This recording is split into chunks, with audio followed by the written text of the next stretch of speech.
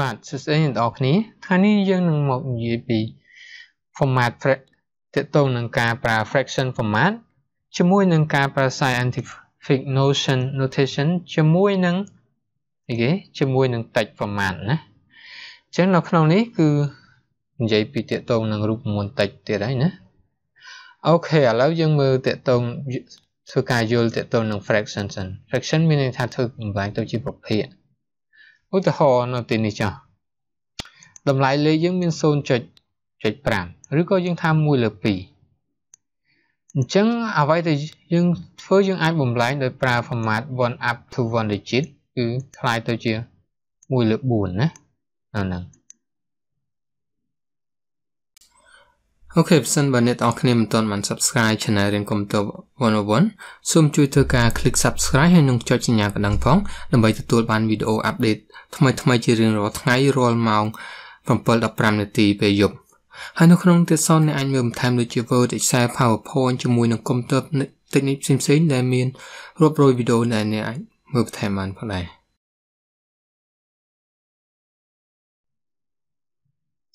ទង្ទ្រា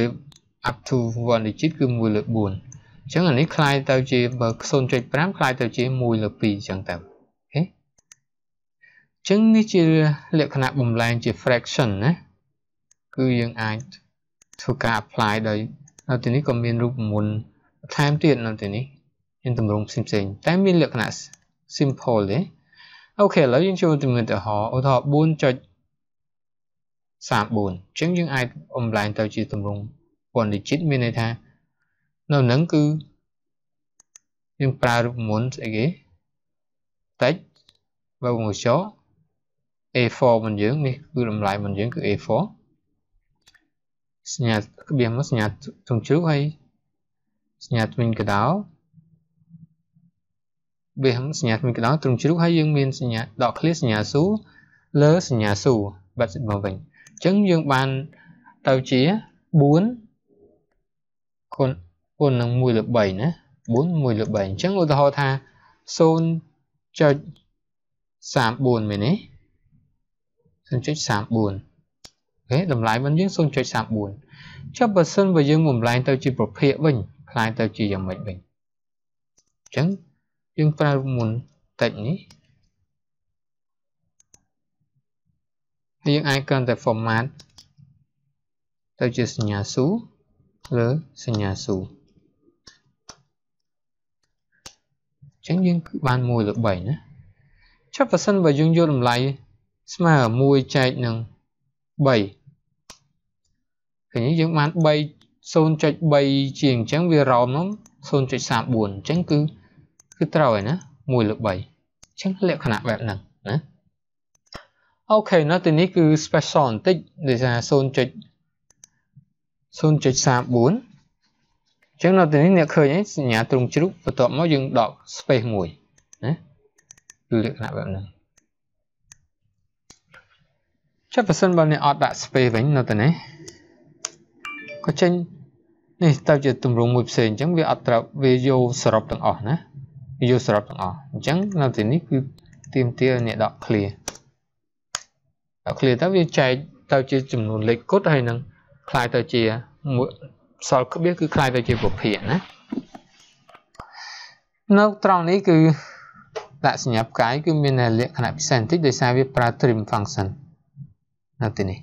0.34អញ្ចឹងយើងប្រើ trim បើកបញ្ចក់ text A5 តម្លៃ A5 របស់យើងសញ្ញាទងជ្រូកហើយសញ្ញាសួរសួរបែបនេះអញ្ចឹងនៅទីនេះប្រសិនបើអត់ប្រើសញ្ញា trim រូបមន្ត trim វិញ យើងប្រើរូបមន្ត text ធម្មតាណាដូចតែខាងលើដែរណា format ដូចខាងលើដែរតែតម្លៃខុសគ្នាអញ្ចឹងយើងបាន1លើ3ត្រូវទេ0.31 1លើ3តែនៅទីនេះអ្នកឃើញទេដោយសារដោយសារវាមាន space ពីមុខអូខេដោយសារយើងមាន space កន្លែងនេះរូបមន្តរបស់យើងអូខេរូបមន្តរបស់យើងនេះមាន space កន្លែងនេះអញ្ចឹងយើងប្រើរូបមន្ត trim តាមពិតគ្រាន់តែកាត់ទេធ្វើម៉េចឲ្យវា ស្មើមកដើមទីតែម្ដងណាអញ្ចឹងគ្រាន់តែយើងថែម trim ទៅពីមុខទេ trim បើកបញ្ចក់ trim មានន័យថាធ្វើការលុបនៅ space សងខាងហ្នឹងចេញតែម្ដងប៉ះសិនមកមានណាអញ្ចឹងទៅវាបាត់ space ហើយអញ្ចឹងវាស្មើនៅខាងនេះតែម្ដងណាអូខេមួយទៀត up to 2 digit មានន័យថាយើងមាន2ខ្ទង់ខាងនេះក៏2ខ្ទង់អញ្ចឹងរូបមន្តរបស់យើងអត់ជាខុសគ្នាទេរូបមន្ត text អឺតម្លៃ onv ហើយត្រង់អឺសញ្ញាថ្មីកដោត្រង់ជ្រុះហើយយើងដាក់សញ្ញាសួរពីរដងមកអានេះលើសញ្ញាសួរពីរដងអញ្ចឹងវាទៅជាតម្រង់តម្រង់បែបនេះ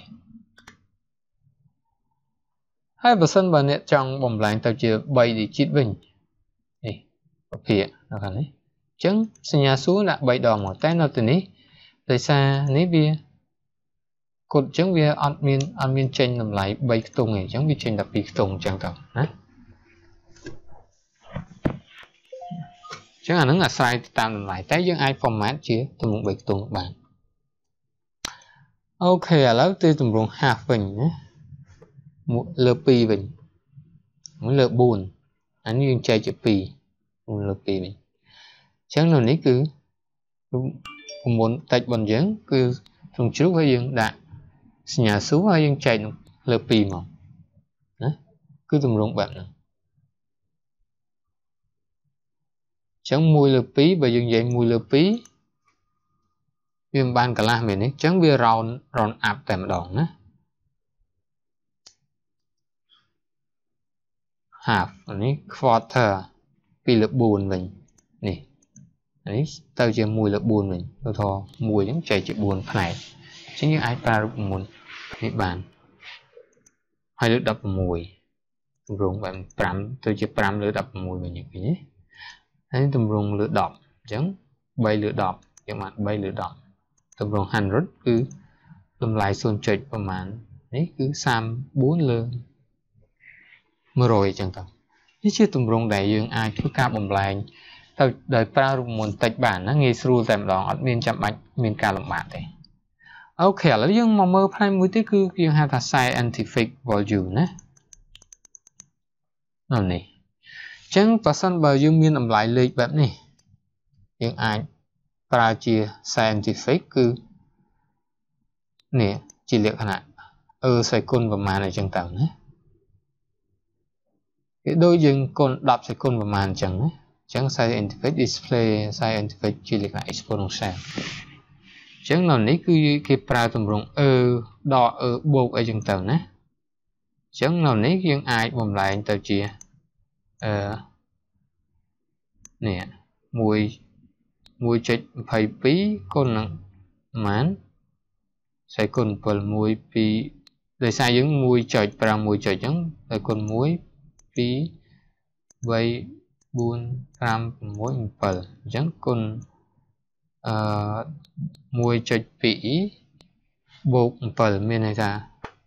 10សេគុណ7ហើយអូខេយើងអាចប្រើរូបមន្តនឹងបានហើយ format របស់យើងគឺទម្រង់បែបនេះបំលែងអូខេយើងមើលឧទាហរណ៍នៅនេះឲ្យយើងមានតម្លៃលេខបែបនេះអញ្ចឹងយើងចង់បាន7នៅនេះគឺយើងអានេះយើង0ចុច នេះមកដោយសារយើងចុចចង់បានក្បៀស2ខ្ទង់អញ្ចឹងយើង0ចុច00អញ្ចឹងមានន័យថាអានេះខ្លាយទៅជាក្បៀស2ខ្ទង់ហើយអញ្ចឹងនៅនេះបូក00អញ្ចឹងមានន័យថា1ចុចបាន1.2បូកនឹង1.2បូក7អញ្ចឹងមានថា1.22អន10សេគុណ7នេះក៏ដូចគ្នាដែរវាយើងចំអានសេគុណ6អញ្ចឹងវា12មាន1ចុចអីអញ្ចឹងបូក6ឬក៏នៅនេះយើងដាក់0តែមួយអញ្ចឹងវា វាបង្ហាញលេខនេះអត់មានដាក់បើយើងដាក់0មួយទៀតវាដាក់06អញ្ចឹងទៅអញ្ចឹងនេះជាលក្ខណៈបង្ហាញជាលក្ខណៈ scientific value បានអញ្ចឹងបើសិនបើអ្នកមានជា idea ផ្សេងផ្សេងក្នុងការបង្ហាញឬក៏មានកំហុសឆ្គងអីសូមជួយធ្វើការ comment ផងណាអូខេសង្ឃឹមថាអ្នកនរគ្នាបានរៀនអ្វីថ្មីពីវីដេអូមួយនេះហើយបើសិនបើអ្នកនរគ្នាចូលចិត្តសូមជួយធ្វើការ like ហើយ share ផង complete comment បើសិនបើអ្នកមានសំណួរណាអូខេអរគុណច្រើនជួបគ្នានៅវីដេអូក្រោយ Goodbye លាសិនហើយឡាសិនហើយ